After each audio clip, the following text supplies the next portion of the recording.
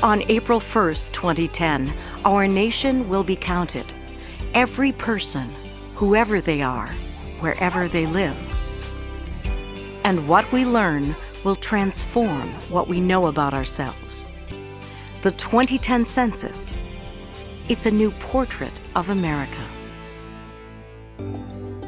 The 2010 census is an exciting milestone for America. It promises to deliver accurate information about our diverse and growing population.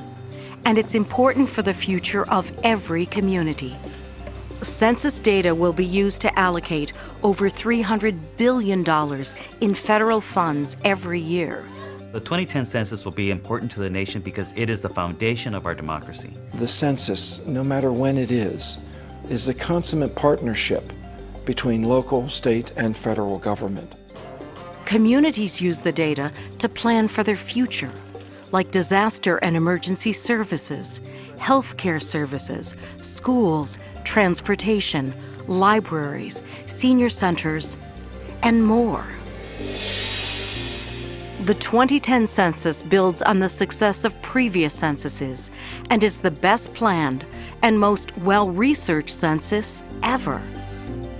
And innovations, like a new short census form, will help to make it even more successful. The 2010 census, it's easy to complete. Data are always confidential and safeguarded. It's important. This census is a commitment to the American way of life. To be counted as a resident of the United States, I think is one of the proudest things that can happen to you in this country. It's important, stand up for yourself, be counted, let people know you're out there. The 2010 census. It's a new portrait of America.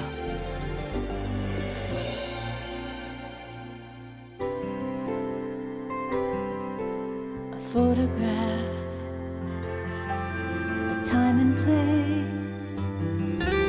A picture holds a moment's space. A portrait of hopes and dreams, telling the story